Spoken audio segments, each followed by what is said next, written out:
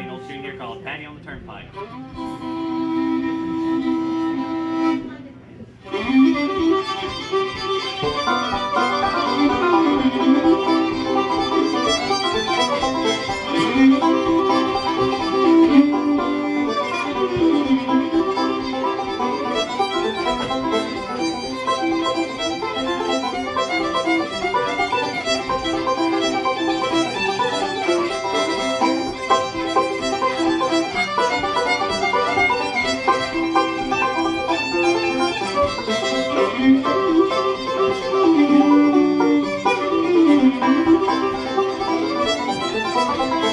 Bye.